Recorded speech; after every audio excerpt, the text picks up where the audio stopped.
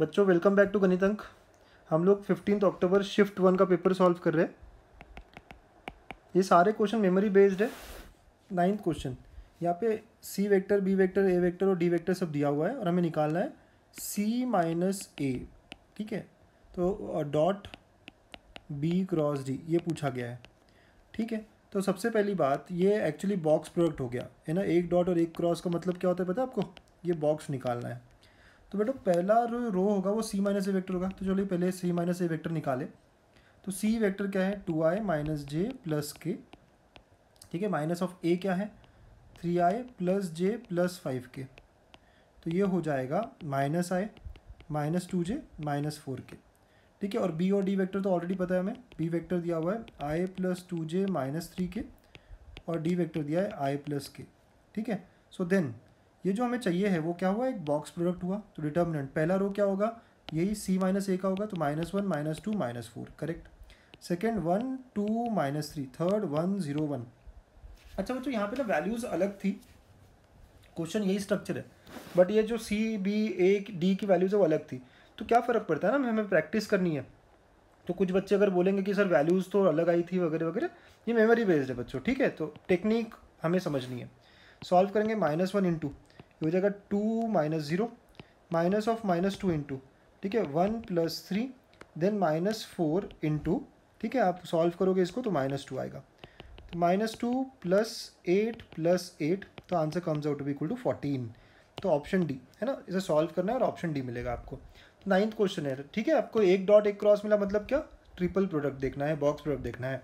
Okay next question let A B C be distinct non ठीक है negative numbers if the vectors ठीक है are lie in a plane तीन vector दिए they lie in a plane मतलब कोप्लेन आ रहे बेटा। और अगर कोप्लेन आ रहे मतलब बॉक्स प्रोडक्ट क्या होगा इनका?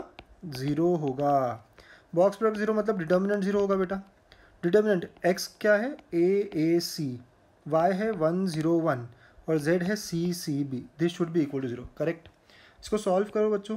तो A zero minus C minus A B minus C plus C C minus zero equal to zero. तो ये हो गया माइनस ए सी, ठीक है? Minus A B plus A C, plus C square equal to zero. A C और minus A C cancel तो यहाँ से मिला C square equal to A B.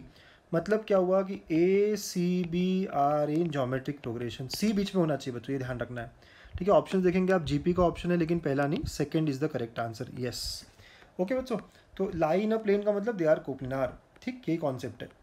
Next question in a triangle small A small B यानी sides की length दी है angle सी भी दिया हुआ है और ए माइनस बी निकालना है।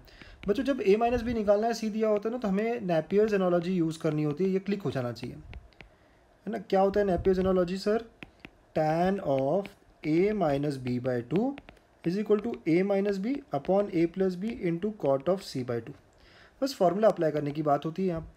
ए का value root three plus one minus root three minus one divide by root three plus one plus root three minus one into cot of sixty by two ठीक है which is thirty okay sir देखिए solve करोगे ऊपर में, नीचे तो कुछ cancel कर दिया आपने। देखिए क्या आ रहा है, ऊपर टू नीचे टू रूट थ्री और कॉट सिक्सटी कितना होता है? रूट थ्री होता है सर सर कह रहा कैंसिल हो गया। तो what am I getting is tan of A minus B by two one आ गया बच्चों।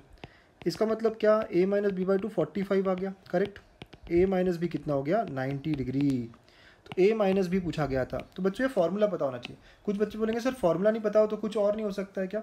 बच्चों, इस क्वेश्चन के लिए जब डिफरेंस है, अगर नहीं आता है तो अभी आप ये लर्न कर लो, ठीक है? एक नया फॉर्मूला आपने सीख लिया, ये समझ लो आज। ठीक है? यही मेथड ईजी है। नेक्स्ट यहाँ पे ऐसे दिया था कि A X equal to B और ये सब पता करना था आपको। ठीक है बच्चों? तो यहाँ पे ये तीन इक्वेशंस दिए, और आपको X plus Y plus Z पूछा गया है। ठीक है? अगेन वैल्यूज़ डिफरेंट हो सकती है यहाँ पे। है ना, बच्चों वैल्यूज़ डिफरेंट हो सकता है बट स्ट्रक्चर ऑफ़ क्वेश्चन यही है। ठीक है? तो आप सॉल्व करोगे फ़र्स्ट रो फ़र्स्ट कॉलम तो कैसे होगा ये? One into X plus zero into Y ठीक है?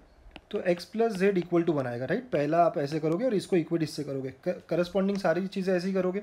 तो minus X plus Y equal to one and minus Y plus Z equal to two ऐसा होगा। ठीक है? अगर मैंने इन दोनों को ऐड किया, इन दोनों इक्वेशंस को ऐड किया तो क्या मिलता है देखिए minus X plus Z equal to three मिलता है। ठीक है ऐड किया है दोनों के इक्वेशंस को। अब now we have X plus Z equal to one minus X Z plus Z equal to three ठीक है तो इन दोनों को अगर ऐड करते हो बच्चों तो two Z equal to four तो जेड का वैल्यू टू आ गया।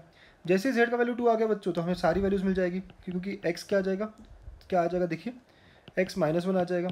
वाई क्या आएगा? ज़ीरो आएगा, आप सॉल्व करिए। तो therefore X plus Y plus Z is equal to minus one plus zero plus two one right तो one is the correct answer बच्चों। ठीक है, ऐसे सॉल्व करना था आपको। गॉट इट तो इस तरह सॉल्व करना है बच्चों। देखिए आप कैसे सॉल्व होता है ये। ठीक? ने तो